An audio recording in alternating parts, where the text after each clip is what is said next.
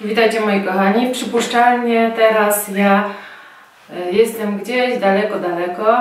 Na pewno dowiecie się gdzie, w którymś kolejnym filmiku, ale przypuszczalnie nie nagrywam jeszcze w nowym miejscu, ponieważ albo nie mam jeszcze podpisanej umowy z dostawcą internetu, albo jestem w trakcie przeprowadzki, albo coś y, nie działa tak jak powinno działać, albo zajmuję się cały czas dziećmi, albo i tutaj możecie sobie dopisać cokolwiek chcecie.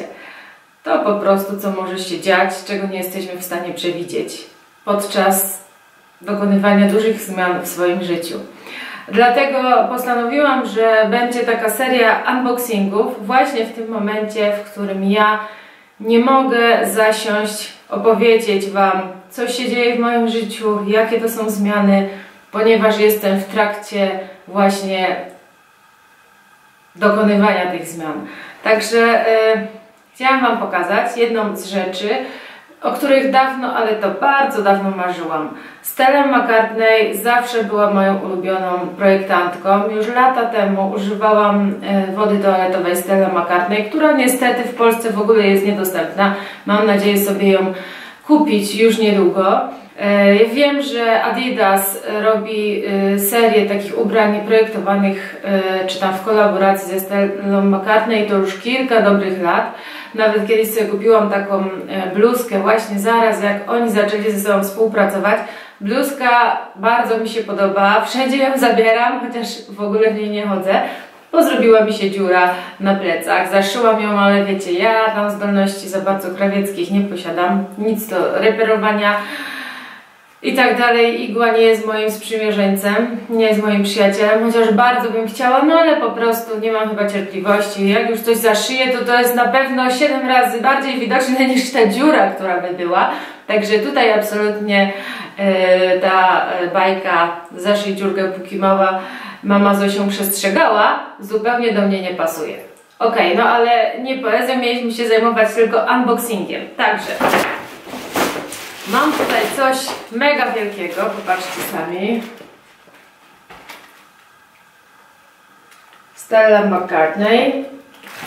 I wiecie, to jest e, projektantka mody brytyjska. E, tak jak powiedziałam, bardzo mi przypadła do gustu. W ogóle ona e, jest taką osobą, której sprawy społeczne są bardzo bliskie, ponieważ ona jest właśnie jedną z tych projektantek, które absolutnie nie stosują skór. E, ona nie szyje żadnej odzieży skórzanej. Wszystkie akcesoria, torebki, bryloczki, portfele, wszystko co ona produkuje jest wegańskie, czyli nie ma żadnego pochodzenia zwierzęcego.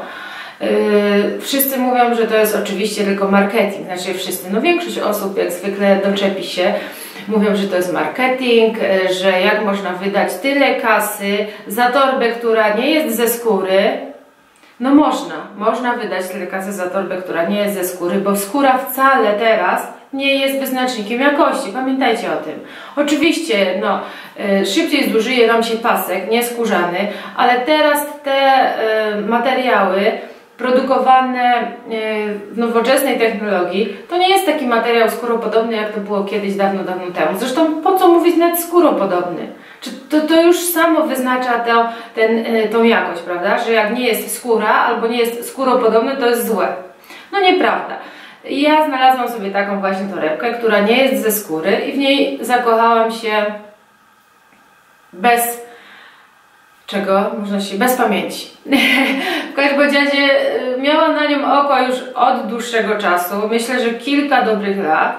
Po tym jak zakupiłam sobie moje torebki Louis Vuitton, które również nie są ze skóry, tam jest tylko pasek, elementy skórzane i doszłam do wniosku, że faktycznie torebka nie musi być ze skóry, żeby miała dobrą jakość. Oczywiście te, które już kupiłam, też będę nosiła, no bo to już by była totalna, totalną pomyłką, że e, zabili tego zwierzaka, z którego zrobili tą skórę, uszyli z niego torebkę, a ja to teraz wyrzucę na śmieci. Nie, no tak nie będę się zachowywała, bo to by było już totalne nieporozumienie, kupując kolejną torebkę w zamian za tamtą.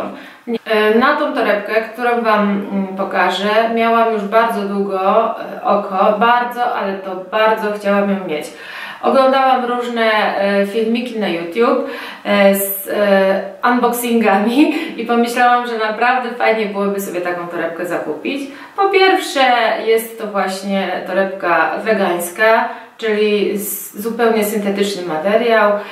Ja uwielbiam połączenie czarnego ze złotym. Kiedyś e, jedna pani powiedziała, że to w ogóle nie pasuje czarny ze złotym. Zawsze tak nosiłam i do tej pory noszę, bardzo mi się to podoba i nawet już od jakiegoś czasu to jest po prostu hit i trend, że jak jest coś czarnego to jest dodatek złoty. Także nie do końca te zestawy kolorystyczne, które kiedyś królowały, królują teraz. No teraz ludzie, teraz konsumenci narzucają trendy i producenci muszą się dostosować, a kiedyś było zupełnie inaczej. Ale okej, okay, dobra, bo w końcu no, ten film będzie trwał dwie godziny, a ja naprawdę nie zrobię tego, co miałam zrobić. Także Słuchajcie, marzyłam o tej torebce bardzo długo. To jest Falabella rozmiar S e, z łańcuszkiem. I właśnie zaraz sobie to otworzę. E, o, podarł mi się e, papierek. Tak to wygląda, tak jest zapakowana. Jest logo na papierku Stella McCartney i Open. Hmm, dobrze, że napisali, bo nie wiedziała. E, tutaj też można zrobić Open, to też zrobię Open. Ach, jak to fajnie, że ktoś człowiekowi doradzi, gdzie taką folikę otworzyć, prawda? No, można by na przykład otworzyć z zupełnie innej strony. Ach, i to by był taki mes wtedy. Ok. Tu też pisało open, zobaczcie, ale już nie było co otwierać. O, i proszę, jest woreczek przeciwkurzowy. Woreczek przeciwkurzowy jest taki lniany. Nie sztuczny, tylko lniany albo bawełniany. To jest naprawdę pierwszy moment, jak zobaczę to cudo. O, tu są węzełki jeszcze. Jeden węzełek i drugi węzełek. Come to mommy, baby. I jest, jest, jest, jest, jest, jest, jest. Zobaczcie. Oj, oj, oj, oj. Tak to wygląda. To jest, e, tak jak powiedziałam, materiał.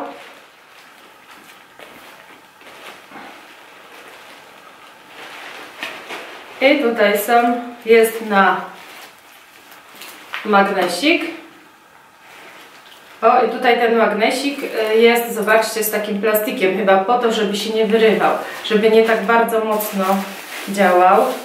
I są dwie rączki, też złote, z zawinięte jeszcze w folikę.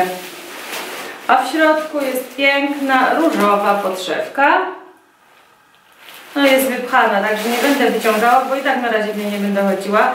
Jest tutaj suwaczek i taki mały metalowy jakby pieniążek z napisem Stella McCartney.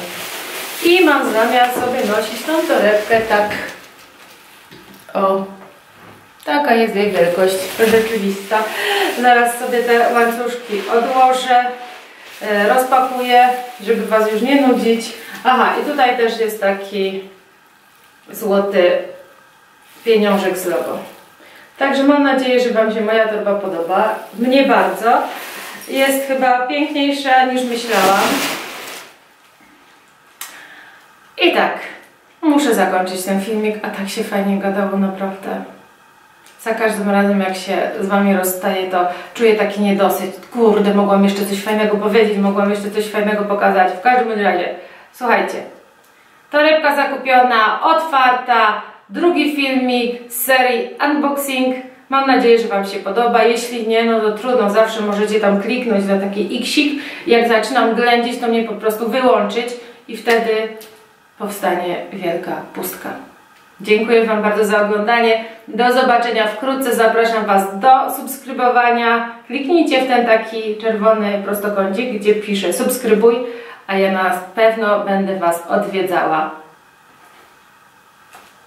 Papa. I obiecuję, jak będę Was odwiedzała, to zawsze do Was przyjdę w dobrym humorze. Na pewno nie zwalę Wam dnia. No chyba, że ktoś jest, nie wiem, że moja twarz mu się nie podoba, o. No to po prostu mnie nie ogląda. Dobra, lele, papa.